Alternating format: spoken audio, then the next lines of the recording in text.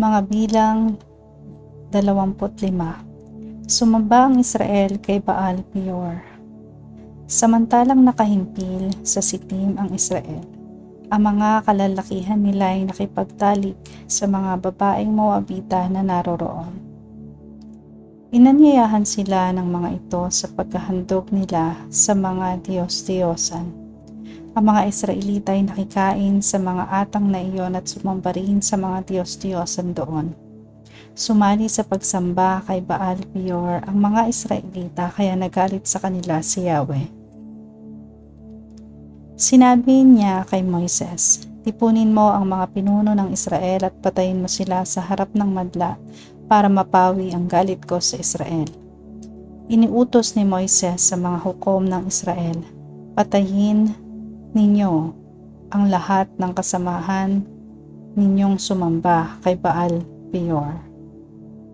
Samantalang si Moises at ang buong bayan ay nananangis sa harap ng toldang tipanan dumating ang isang Israelita. May kasama itong Midianita at hayagang ipinapa, ipinasok sa kanyang tolda. Nang makita ito ni Phinehas na anak ni Eleazar at apo ni Aaron, umuwi siya at kumuha ng sibat. Sinundan niya sa tolda ang Israelitang may kasamang Midianita at tinuhog silang dalawa ng sibat. Dahil dito tumigil ang salot na sumasalanta sa Israel. Gayunman, 24 na libo na ang namatay sa salot na iyon. Sinabi ni Yahweh kay Moises dahil sa ginawa ni Phinehas, pinahahalagahan niya ang aking karangalan, kaya hindi ko nilipol ang mga Israelita dahil sa aking galit sabihin mo sa kanyang ako'y gumagawa ng isang kasunduan sa kanya.